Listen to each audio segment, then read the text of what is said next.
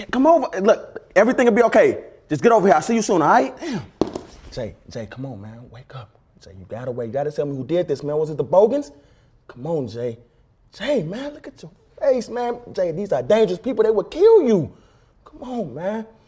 Come on, Jay. Just tell me who did it. Just tell me who did it, man, and I got you. I got you. I ain't gonna let nothing happen to you, man. You my nephew, Jay. No, Jacob.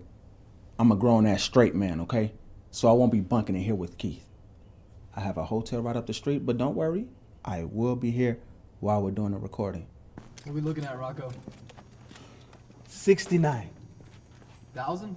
Yes, thousand. seven thousand at least. No, 69 I need seven thousand at least. I 69 wires still Listen, guts. what things, got who taught you how to, who taught you how to fly a plane?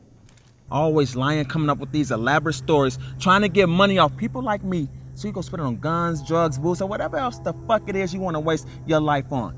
Hey, you know what? Fuck the cash, bro. Here's the tip, low life. Go get a job like the rest of us.